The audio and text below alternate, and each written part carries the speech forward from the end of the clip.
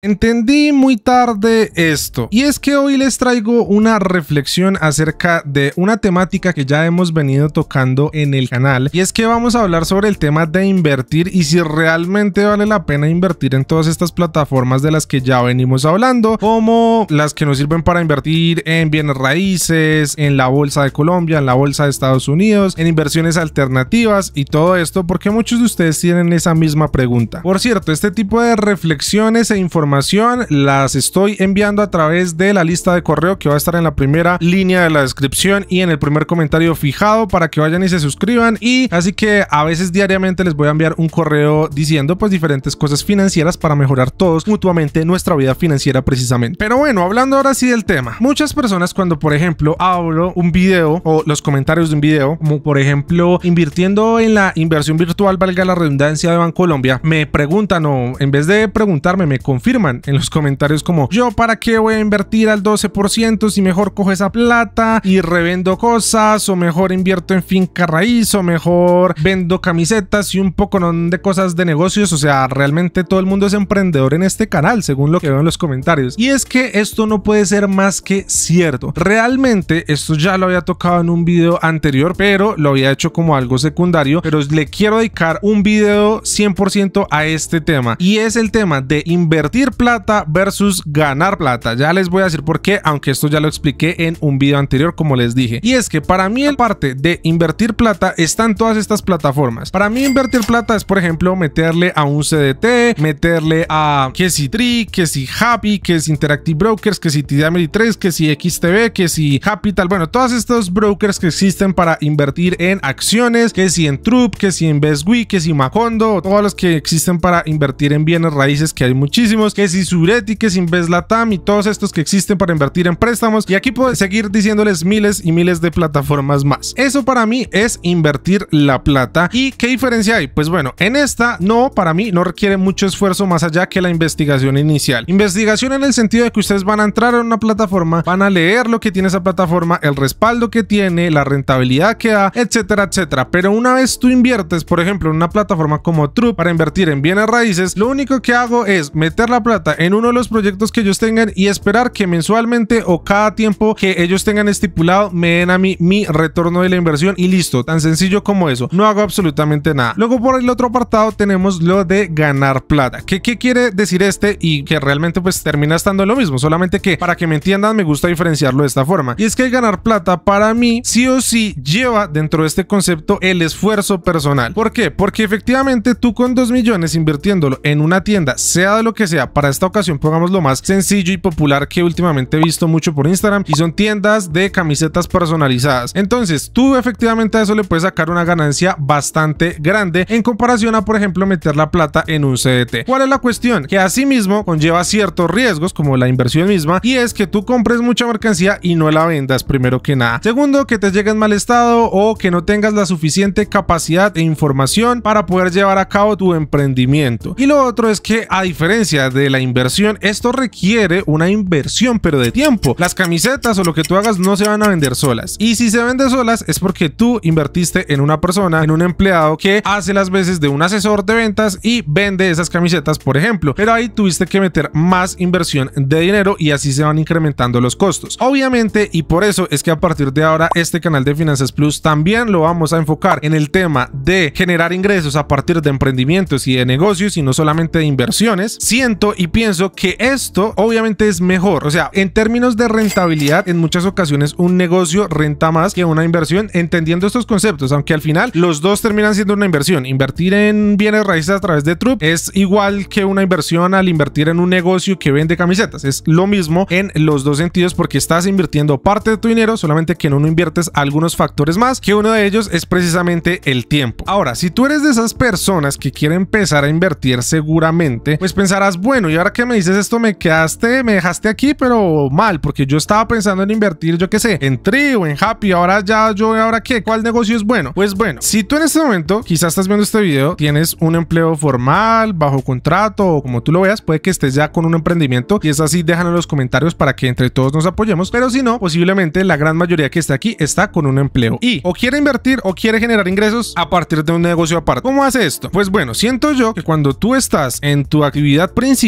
es decir, en tu trabajo, lo primero que debes invertir, efectivamente la frase típica es en ti mismo. Es invertir en lo que tú sabes y en lo que sabrás y en valorizar algo que a veces dejamos detrás y es a nosotros mismos. Porque le damos valor a las inversiones, le damos rentabilidad, estipulamos ciertas fechas, ciertas cosas, pero a nosotros mismos nos dejamos atrás. ¿Y a qué me refiero con esto? Por ejemplo, si tú en tu día a día trabajas como carpintero, puede que tú hace meses estés trabajando o años incluso estés trabajando en esto y siempre te pusiste a pensar, no, pero es que tengo que darle esto a esta persona o tengo que invertir en esto para generar cierta ganancia, pero nunca dijiste, no, pero es que en mi día a día estoy acabado, las herramientas que tengo ya se dañaron, cada vez trabajo más lento y produzco menos plata. Entonces, para esta ocasión, como por ejemplo el mío, una persona como yo que trabaja 100% en redes sociales, ¿qué es lo que necesita? Precisamente un portátil como este. Que por cierto, MSI es el que patrocina este video en el día de hoy con este portátil MSI Modern 14. Este portátil cuenta con un procesador i5 1155, cuenta con una pantalla IPS de 14 pulgadas Full HD de 60 frames o 60 cuadros por segundo, tiene 8 GB de RAM a 3200, unos gráficos integrados Intel Iris. Y la verdad que este portátil es para las personas que precisamente se dedican a cosas similares a lo mío. Y es el tema de productividad, de cosas de estar haciendo presentaciones, estar en llamadas y todo eso. Y una cosa que pues no sé a qué tantos de ustedes les interese, pero miren lo siguiente, cuando yo abro la pantalla puedo ponerla completamente vertical, me genera de cierta forma un gusto comodidad, la verdad que es bastante bueno. Ahí les dejo el link por si quieren ir a chismosearlo en la sección de los comentarios. Se me olvidó mencionarlo durante la grabación de este video que acaban de ver, que justamente estamos en Black Friday, por lo cual MSI tiene muy buenos descuentos. Así que en la descripción les dejo los links para que vayan y revisen todo el tema del portátil o si quieren quizá algún otro dispositivo de MSI. Por allá les dejo los links. Pero ¿por qué les digo esto y por qué meto esta promo aquí tan bonita? Y es que cuando tú mejoras las cosas, y no me refiero simplemente al portátil, mejoras también tu nivel de vida, tu pensamiento y tus ingresos a futuro. En mi caso, nuevamente, me dedico a redes sociales. El celular es una cosa, es una herramienta fundamental. Cuando tú mejoras tu teléfono, mejoras tu flujo de trabajo, mejoras la rapidez y así mismo mejora la cantidad de ingresos que puedes llegar a recibir. Y literalmente le preguntas a muchos emprendedores y van a decir exactamente lo mismo. Así que invertir en ti mismo, no solamente en las cosas materiales, sino también lo de aquí, es una cosa muy importante. A partir de ahí lo que podríamos decir es que todo viene por añadidura. Cuando tú ya empiezas a mejorar mentalmente y en cuanto a conocimientos, empieza a abrirse un mundo gigante. Por ejemplo, si tú en este momento he visto algunas personas, de hecho vi que días a un mexicano, él también habla del tema de finanzas, pero él realmente estudió algo de programación. Entonces estudió programación y luego pasó algo de finanzas porque le apasionaba y le gustaba. Entonces ven como este tipo de cambios, tú puedes ser literalmente el ejemplo que siempre pongo, un arquitecto y terminar metido en el mundo del marketing digital. ¿Por qué? Porque nunca es tarde para nada y siempre es bueno aprender nuevas cosas. Porque al final la vida pasa y lo único que queda en nuestra mente es el tema del conocimiento y todo lo que vivimos en nuestros días. Así que simplemente les quería traer esta reflexión y también de cierta forma motivar a la gente porque yo también estoy en ese proceso y me encantaría saber quiénes de ustedes están en lo mismo. Hay mucha gente que quiere emprender y eso sí, no todo el mundo está dado a emprender. algunas personas les gusta ser simplemente empleados y con simplemente no es que esté denigrando esta posición, sino que les gusta esa posición porque les da como esa estabilidad y esa tranquilidad y eso para nada está mal. De hecho me encanta y a veces envidio porque es como una estabilidad mental que muchas veces las personas que dependemos de nosotros mismos y emprendemos no la tenemos porque siempre estamos buscando alternativas para mantenernos a nosotros, al equipo que esté detrás y a todo lo que tengamos en nuestro día a día. Entonces en esta ocasión, ¿qué debes hacer? Enfócate en ti mismo, enfócate en qué es lo que quieres hacer, invertir o ganar plata. Si tú quieres ganar plata, en futuros videos vamos a ver el tema de los negocios. Quiero traer personas que ya de por sí tengan negocios, que estén generando, que estén facturando y nos muestren a nosotros qué es lo que han hecho. Y asimismo, mostrarles a ustedes para que de alguna forma se motiven y sigan adelante, porque siento que en Colombia hay mucha potencia, pero esa potencia está en un diamante en bruto, que el diamante de por sí, si uno va y lo ve, es como algo super X, pero cuando ya empieza a trabajar sobre él, se vuelve una hermosura, algo precioso, invaluable. Lo mismo está en Colombia. Hay mucha gente negativa que simplemente dice, no, pero es que Colombia no tiene oportunidades, es que Colombia no tiene esto, pero es que Colombia no funciona para esto, etcétera, etcétera. Y todo es negatividad tras negatividad tras negatividad. Pero cuando quitan ese sesgo, quitan eso, se quitan la venda de los ojos, realmente pueden empezar a ver que hay muchas oportunidades y solamente falta como realmente ver esa oportunidad y lanzarse a por ella. Y por eso próximamente vamos a estar haciendo unas cosas aquí. Es que estos videos son de preparación para mostrarles a ustedes lo que se viene. Ya montamos la página, como les dije, así que vayan y se suscriben a esta lista de correo y déjenme su reflexión en la sección de los comentarios porque lo que se viene para Finanzas Plus está una locura. Una comunidad completa para todos nosotros obtener oportunidades y no simplemente quedarnos así de brazos cruzados. Así que